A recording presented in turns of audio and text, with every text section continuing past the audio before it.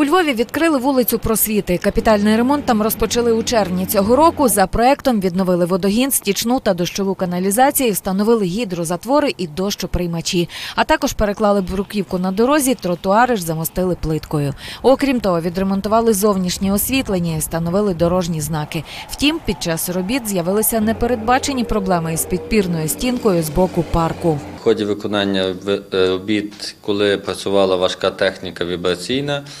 Е, частина підпільної стінки в межах е, скверу просвіти, е, скажімо так, з'їхала, і тому нами було прийнято рішення відремонтувати цю частину підпірної стінки в наступному році капітально. На підпірну стінку треба 1 мільйон гривень. За інформацією міської ради, загалом ремонт вулиці коштував майже 11 мільйонів.